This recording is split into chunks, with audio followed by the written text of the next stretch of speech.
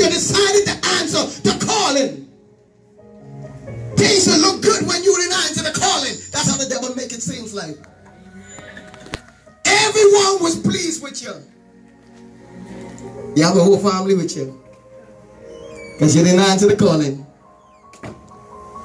Everybody was able to be with you, but when you answer the calling, here comes everything that could go wrong. Go wrong.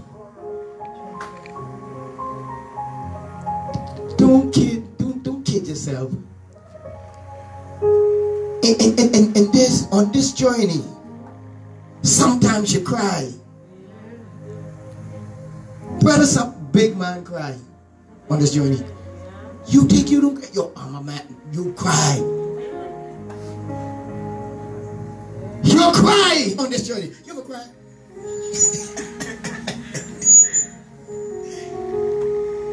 when you think about the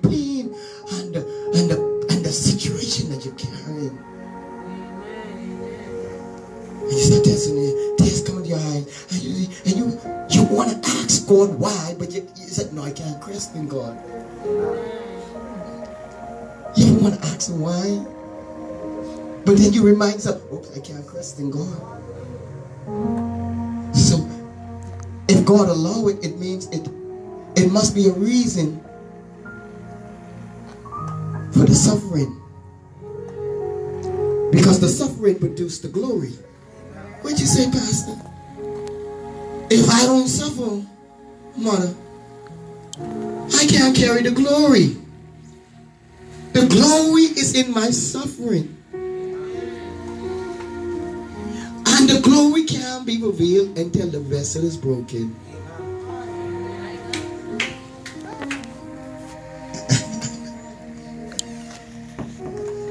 I said it, it, it, it, it, it will not be revealed until the vessel is broken. God invest glory in her. She don't know. But because she's still learning God. The more she learn God, the more she come to the understanding that she's carrying something that are attracting the enemy. You know what I say? You know what I say? You listen me, you only hear what I say. I say the more she give herself to God, the more the situation get more worse. It's because of what she's carrying. God told me to tell the church today that the church need to step up. The church need to step up. Stop playing around. This is no game. You are in real warfare. This is real. And the more you play around, the more advantage you are giving to the, the enemy.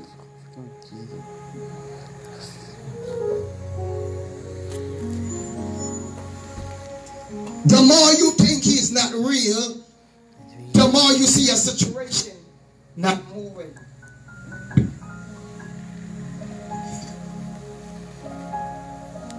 We gotta stop. Church, we gotta get real with God, man.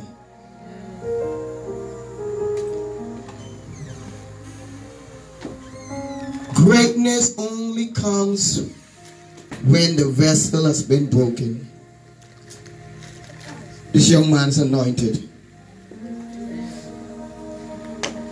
This young man's anointed, but the anointing will not be seen until this young man be broken.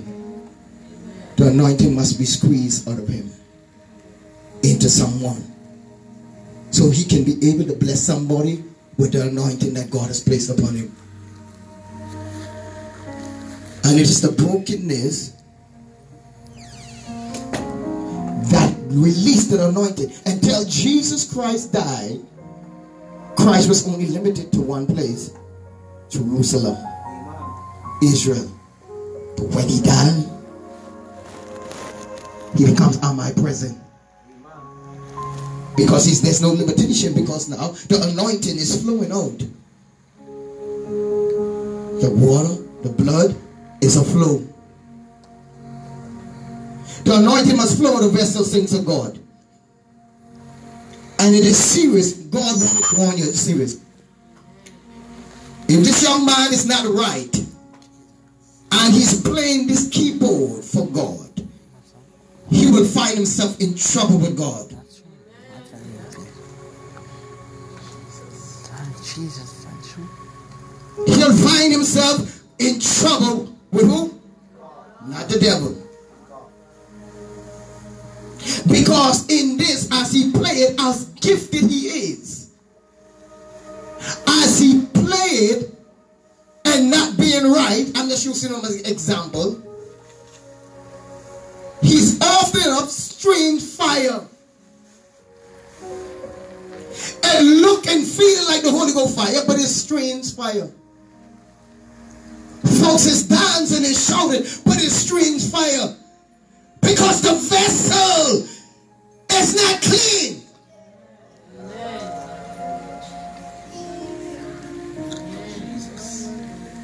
I want to worship God.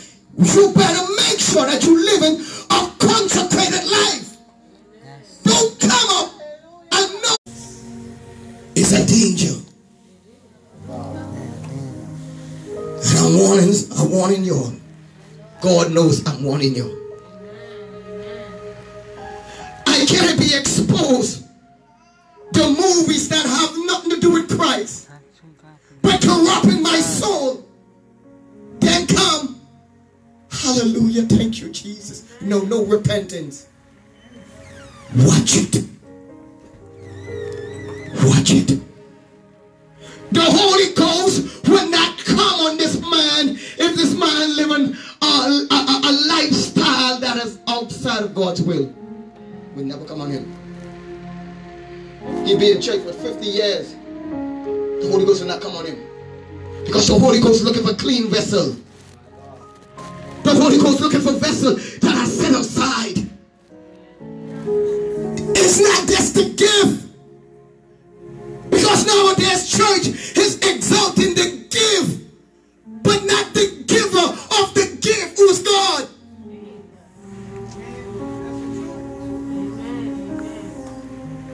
Oh, she sing good. Oh, he sing good. That's the gift. But are you been consecrated?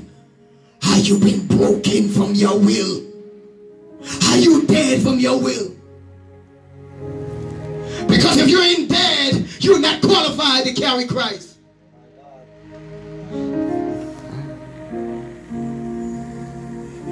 You have to be dead. That's why if any man will follow me, he must pick up his cross and deny himself. I can't follow him if I'm not willing to deny me. And me is hard to deny because I spend a lot of time with me. I invest a lot of things in with me. But at the same time, I want to come in the presence of God and I want God to do a miracle. Saints, don't work like that. The two sons of Aaron, you remember the two sons of Aaron? The brother of Moses. The Bible says they went in the temple and they offered up strange fire before God and God consumed them. God consumed them, not the devil. God consumed them. God killed them. God killed them because they offer up strange fire. How many times in church we offer up strange fire? Because the vessel that is doing it ain't consecrated.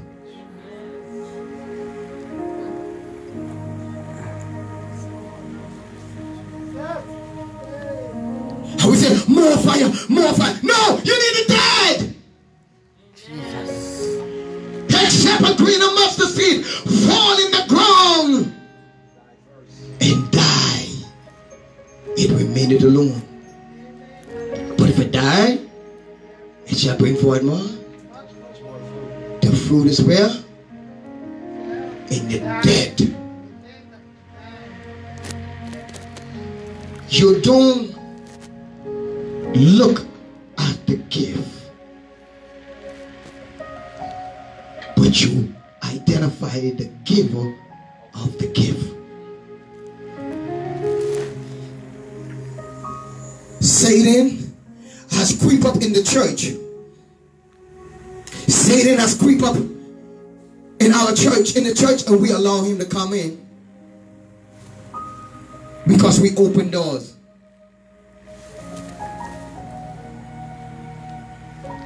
Monday to Saturday, we live in some kind of way. On Sunday, Saturday, we try to get it right because Sunday right there.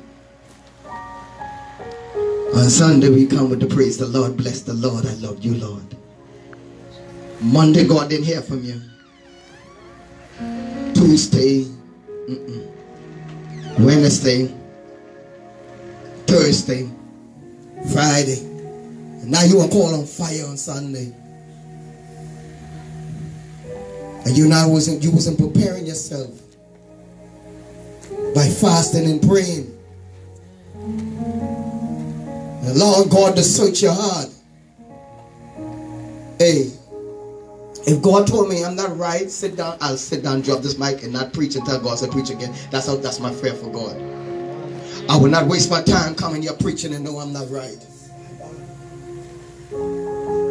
I'll drop this mic, I'll sit down somebody teach me. Until I'm ready. I, I got time. This is no game. This is no game. I don't have to give, but the gift need to be anointed by the giver of the gift. And that's what the Holy Ghost comes in. It anoints the gift. And what the anointing does. What it does. What it does. What Isaiah 10 27 says. Destroy the yokes. Yeah, I'm move burning. And remove burden. What does it? The anointing. The gift. Anointing. The gift does it, right? The anointing. What does it? The anointing. What does it? So the gift don't do it. What, it, what does it? The anointing. So that when the, uh, the gift have to be anointed. The vessel have to be anointed and have the gift.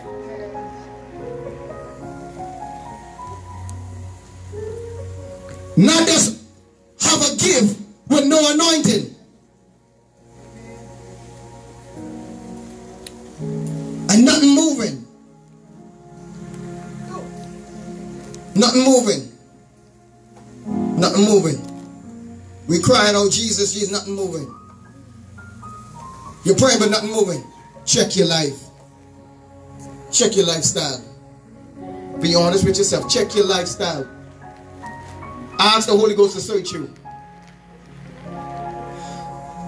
And when God reveal it to you, then you repent. But don't pretend like it ain't there when it's there.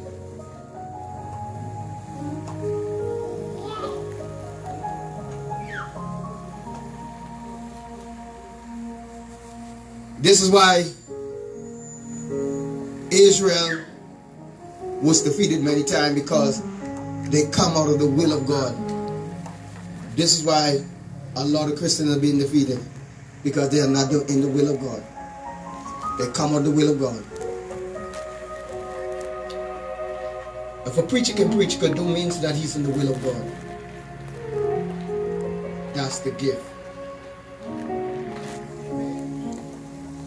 What is the the qualification? Not the gift. The fruit of the spirit. Not the gift.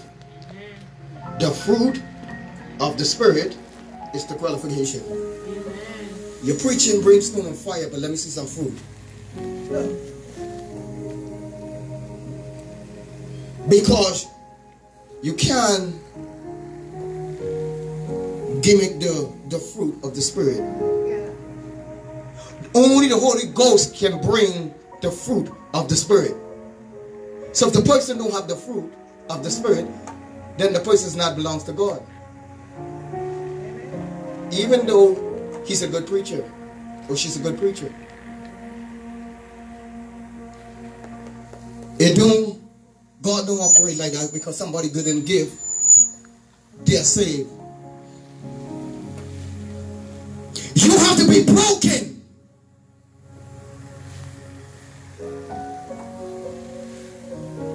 And if you're not willing to be broken, you can never be used.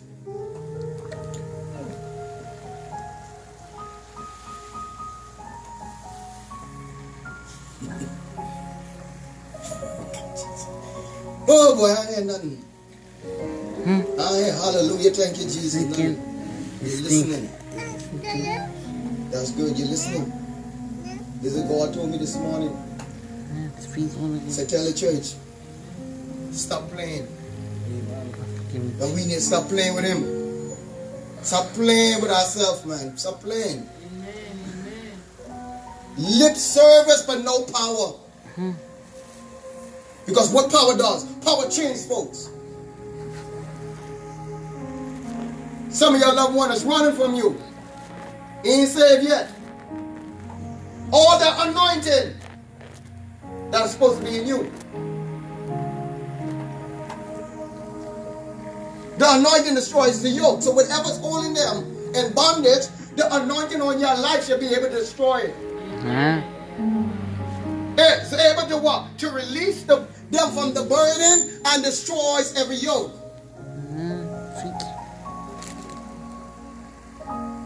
With fasting and praying things of God, many of us right here don't fast and don't pray.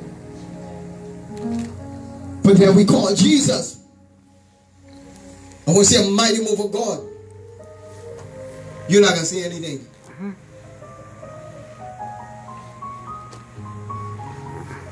Because you ain't following the instruction.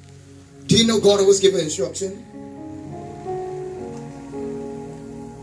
Huh? He told the disciples, go in Jerusalem. In what? I'm tarry. tarry. And what? tarry. That means you don't move from that, from that place. You must not move from that place. Go in Jerusalem and tarry and wait until what? No. Until what? Mm-hmm. No. Go get some cards and print some pictures and open up your ministry because you've been prophesied over. You're gonna be a you're a prophet, you're a you're a pastor, you're an apostle. So go and start ministry. They did they, they, they did that. What they did? They tarry. For what? And so what was what was the Holy Ghost?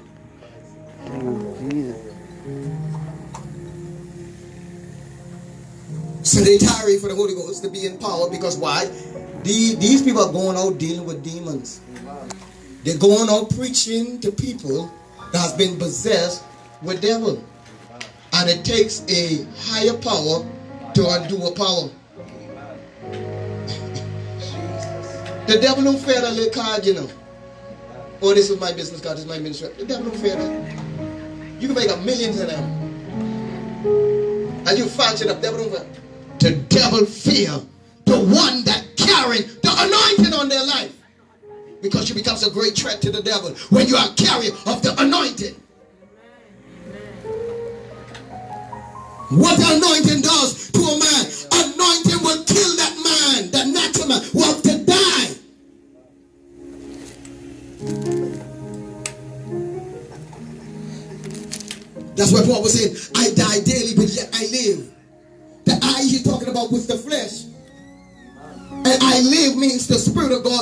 Christ that's in him, that are given him true life.